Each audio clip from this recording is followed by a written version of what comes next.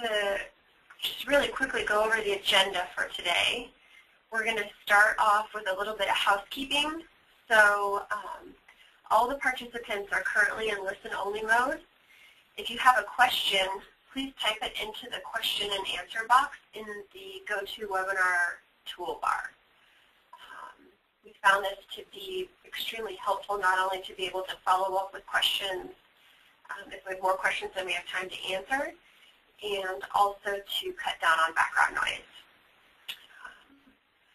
So uh, that being said, um, today we're going to go ahead and talk about um, what is eligibility provision. We'll talk in kind of bigger picture on how it works. We'll talk about who can participate. We'll look at an example calculation. We'll talk about the timeline for participation. There are some resources that are available, and we'll share those with you. We'll also talk a little bit about the benefits, and then we will have um, some time for some questions.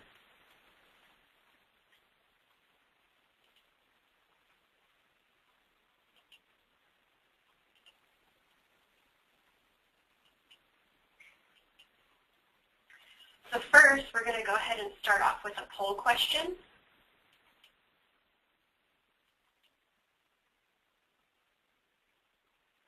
So we're curious, um, how many have heard about the community eligibility provision?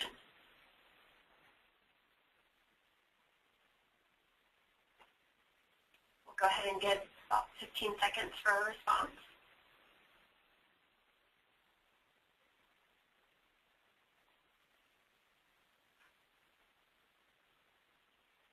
All right, so we're going to go ahead and close it.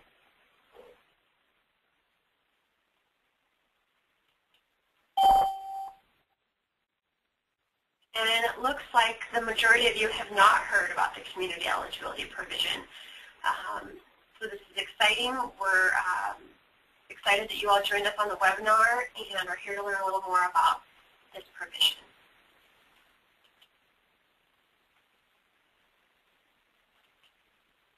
Okay, so what is the community eligibility provision? It was previously known as the community eligibility option and that may be a term you've heard of previously. They changed it to community eligibility provision to be more consistent with other provisions, um, such as Provision 2, which some of you may be familiar with. And uh, it provides an alternative to household applications for meal benefits. And this is something we're really excited about, and I think that districts will be really excited about. I've yet to encounter anyone that's really excited about um, applications and that whole process. Um, schools in 11 states have piloted the program. They have almost 4,000 schools participating. So um, USDA opened it up to some states to um, see who wanted to pilot the program. And that, that's been underway. Uh, and starting July 1 of 2014, it's going to be available nationwide. So here's a quick graphic showing which states piloted it at which time points. So uh, Illinois, Michigan, and Kentucky were some of the first. Uh, they piloted it out in the 11-12 school year.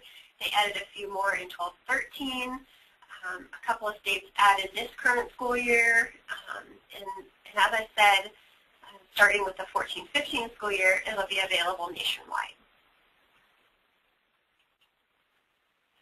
So how does it work? Um, first, we'll talk a little bit about some basics, and then we'll get into a little more detail.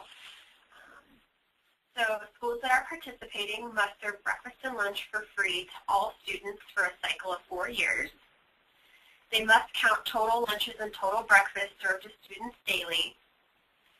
And schools that are participating cannot collect household applications for free or reduced price meals. So we'll talk about the data you use to determine your claiming percentages.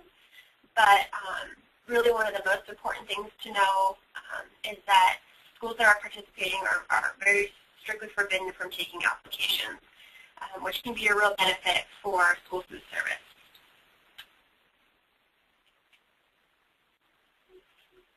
So to talk a little more about how it works, the school district are participating schools, and we'll talk about kind of who can participate on the next slide.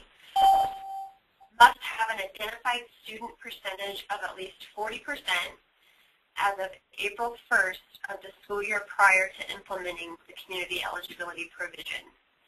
Um, and one school can participate, a group of schools can participate, or an entire district can participate. Um, so um, let's, let's get a little deeper into what that identified student percentage is referring to. So the identified student percentage is determined by um, getting the number of children who are certified for a free school meal without application. So this is going to be all your direct cert matches. And um, this is um, the, the broad sense of direct cert matches. So this includes your SNAP, your TANF, it also includes your FDPIR and students that are on your um, migrant or homeless list. So everybody that's direct cert through those means. And then you're going to divide that number by the total number of enrolled students.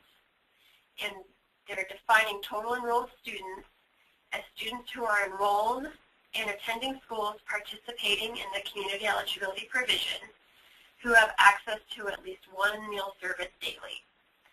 So um, students that you would not include in this calculation are students like half-day kindergarten that didn't have access to a meal program.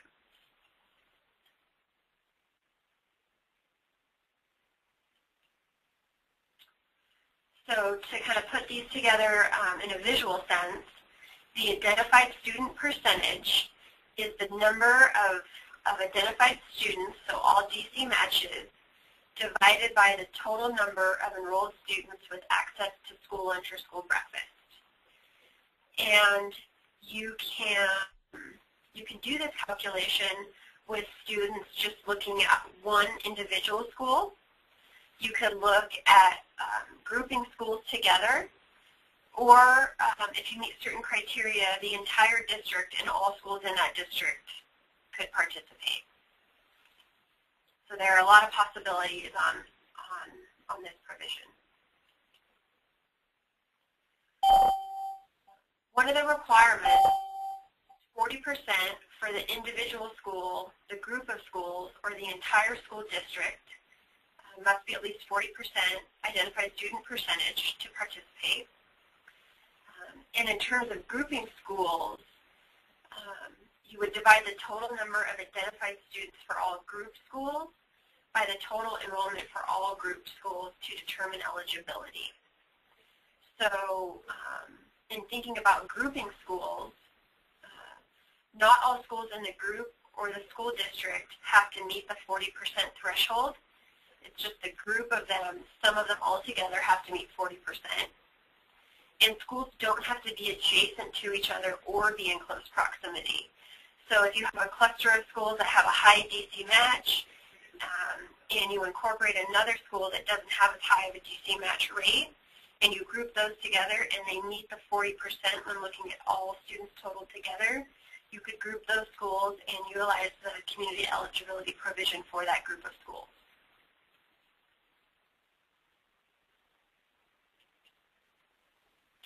So what about the claiming percentage? uh, your identified student percentage multiplied by a factor of 1.6 equals the total, or I'm sorry, um, that equals the, the number of meals served at the, or that are reimbursed at the federal free rate. The remainder of that percentage, and we'll go over a sample calculation so this hopefully will be more clear, are reimbursed at the paid any meal costs in excess of the total federal reimbursement must be covered through non-federal sources.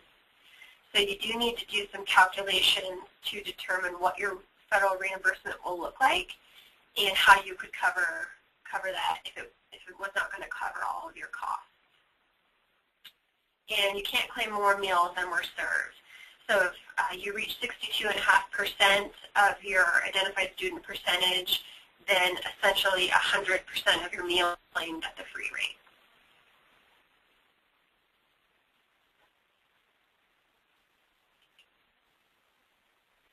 So where did that 1.6 come from? analysis show that on average, for every 10 direct certification match students, there were six more students certified based on an income application. So if you multiply the identified student percentage by 1.6, you're approximating the free and reduced percentage. And the average means that some schools will be on the higher end and some on the lower end serves as a proxy across many low-income schools. So they're, they're looking at extrapolating that data to um, equate what they've seen from a historical perspective.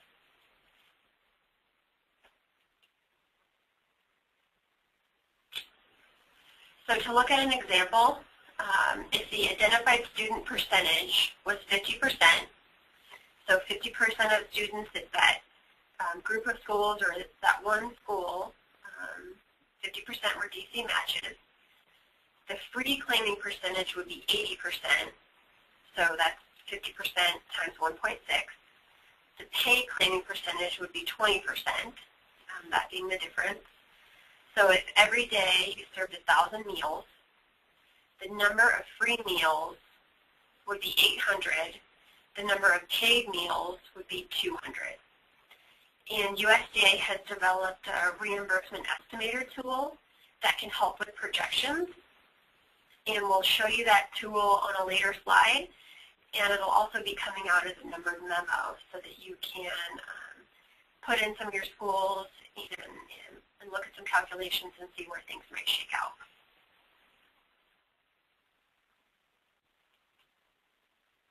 So who can participate?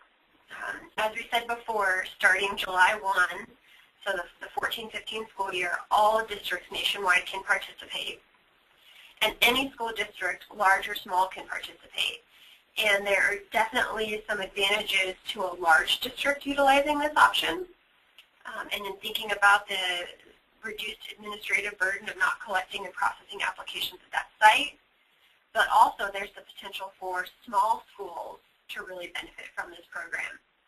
So in thinking about small schools that maybe are, are near a reservation and have a really high FDPIR match rate, those schools could really benefit. Um, even schools as small as 10 or 15 students, if the majority of those are, are DC matched, then that could really be beneficial and and would reduce um, the burden of collecting applications at that school. Um, and then in a large school, um, that could that could work out equally as well.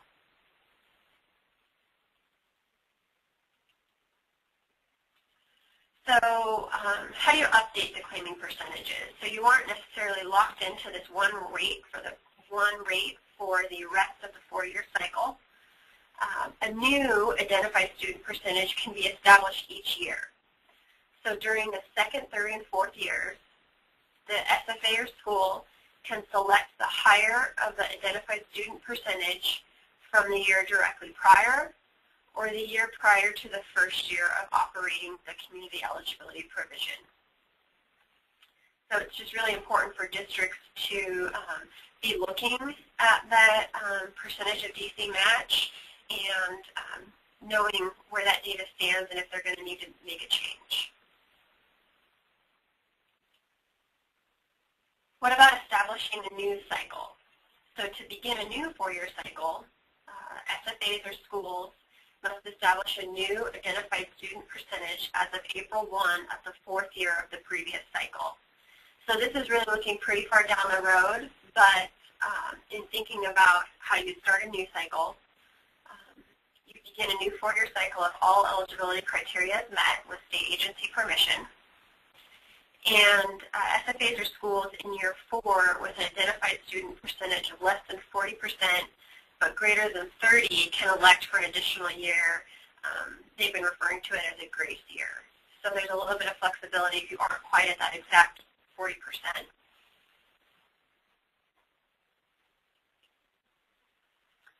Um, to talk a little bit about the timeline for participation.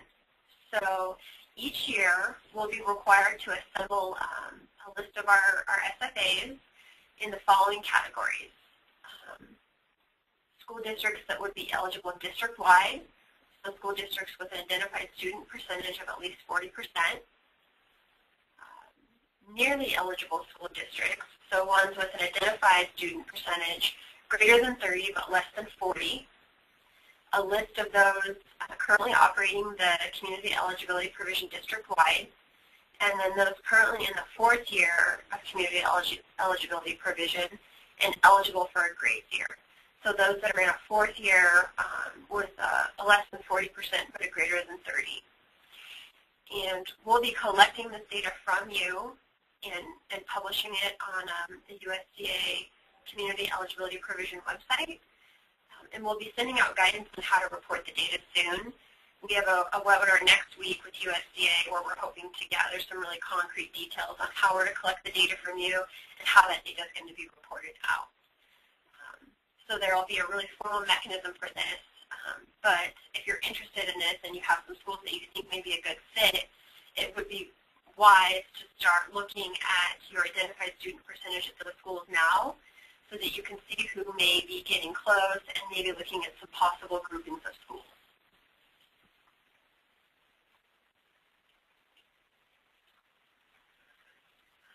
School districts or SFAs intending to elect this provision, if some or all schools, are going to be required to submit to the state agencies, that's us, documentation by June 30th of the year prior to starting CEP. So if this is something that you wanted to pursue for the 14-15 school year, keep in mind that June 30th is going to be the drop dead date to let us know um, that you are going to be pursuing that. And also there's a requirement that um, you'll need to ensure documentation demonstrates the school or the school district meets the identified student percentage threshold as of April 1st of the prior school year. And again, we're awaiting some more concrete details from USDA, and we'll be sharing those with you when we get them.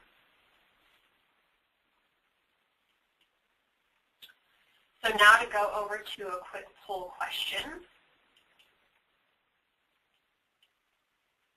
and this is by no means binding in any way, shape, or form, but just out of curiosity, um, how many of you plan to implement the community eligibility provision? Or I guess I could rephrase this to say, how many of you are interested in pursuing this?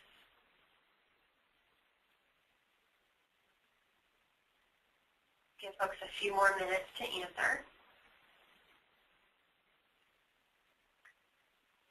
or I'm sorry, seconds. um, all right, we'll go ahead and close the poll. But it looks like um, the vast majority of you, about three quarters, are interested in pursuing this option. We'll share those results. Um, which is really exciting. I think there are a lot of um, advantages to, to pursuing this provision.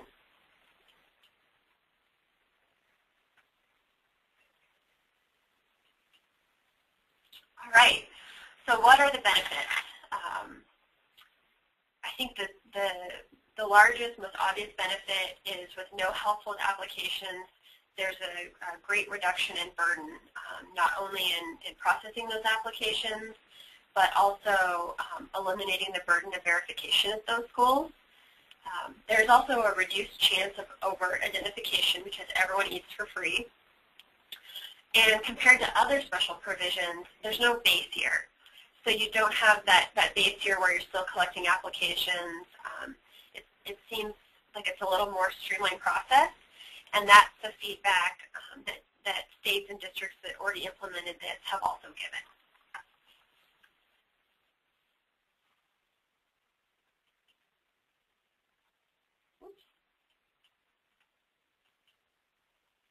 Um, there's also some, some data um, from, I believe this is out of Kentucky, um, that between October 2010 and October 2012, schools that operated the community eligibility provision for two years saw a pretty significant increase in meal participation. So at lunch, they saw, saw a 13% increase in participation, and at breakfast, they saw a 25% increase, which is really exciting and, of course, something that um, we're always um, happy to see and, and pushing for.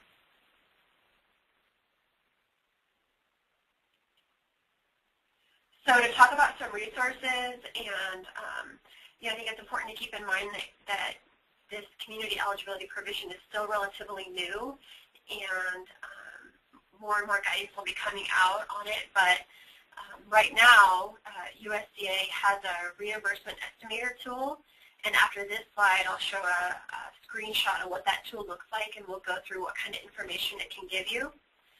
Um, and as I said, it'll be sent out as a numbered memo.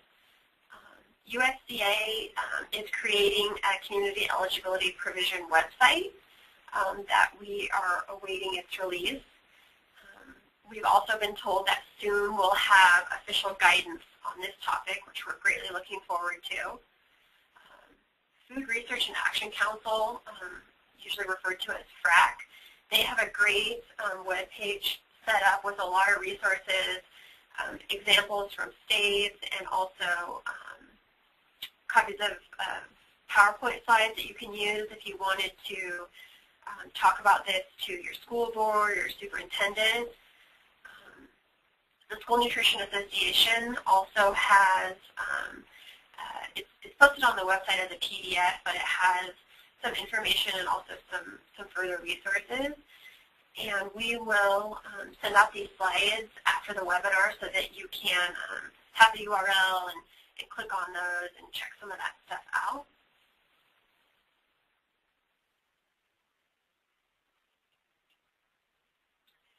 So to talk about this um, community eligibility provision tool, um, it's a, an Excel spreadsheet, um, whether you love it or hate it, so what we have. Um, and just kind of starting from the top, it'll ask you your total number of identified students.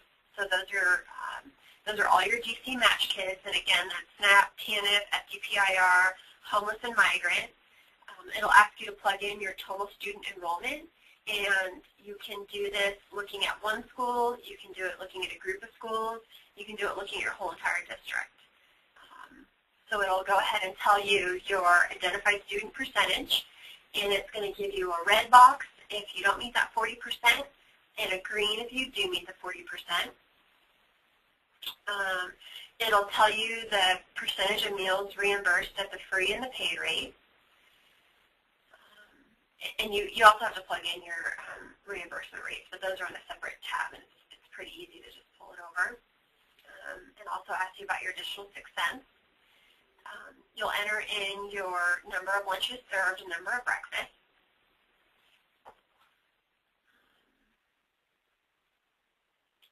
And then Step four is optional, so you can kind of play around with your participation changes.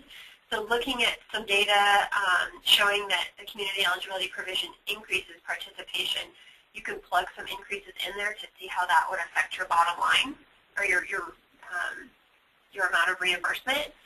And then over here in this green section, it'll go ahead and tell you what um, your federal reimbursements will look like monthly. So this is looking at data for a month um, but it'll it'll help you um, look at some numbers and, and, compare what your reimbursement um, could be utilizing this provision as opposed to what it, what it currently is. And then it'll also tell you the monthly amount of non-federal funds needed. Um, so that, that's valuable information to, to gather and, and to look at and know how you would potentially cover that gap. In order to get data from that red section, you have to know what it costs you to produce a meal. So you plug your cost of producing a meal in this bottom step five um, in order to get the data in this red section.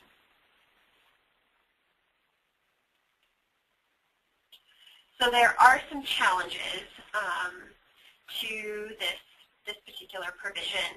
And the challenges mainly center around the lack of student-level free or reduced data. So that presents challenges for Title I, for E-rates, for other uh, state or local grant programs. And um, USDA has um, been working and talking with the United States Department of Education, and um, the Department of Education has um, said that they're going to be issuing guidance on this topic. Um, USDA presented at the Title I State Directors Conference um, to provide information and talk about options. Um, and here at the Nevada Department of Agriculture, We've also worked with Nevada Department of Ed folks to provide information on community eligibility provision and talk about the challenges of the lack of student-level data. Um, so they are aware of, of, the possibility of schools pursuing this option and um, the, the challenges that that could present. And if you have any questions about um, any of these issues, um, please contact your nutrition program professional and we can hook you up with resources or um, work with you to facilitate conversations with those Department of Ed folks or your school district folks to work through that challenge. All right, so those are the basics, and um, we now have plenty of time for questions. And again, um, you're all in listen-only mode, so if you would like to ask a question, please type it into the questions box um, that's in your GoToWebinar toolbar.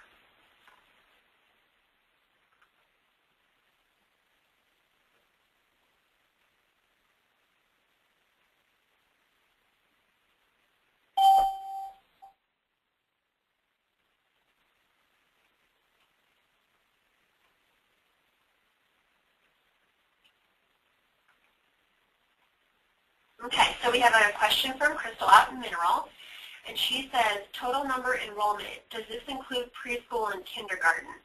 Which is kind of a tricky question. So preschool and kindergarten would be included if they participate in your meal program. So the kids that would not be included are um, half-day kindergarten that don't have access to the meal program. Um, maybe they participate in special milk instead. So if you're pre-K and your kindergarten students do have access to the school breakfast and lunch program, then you would include them in your enrollment.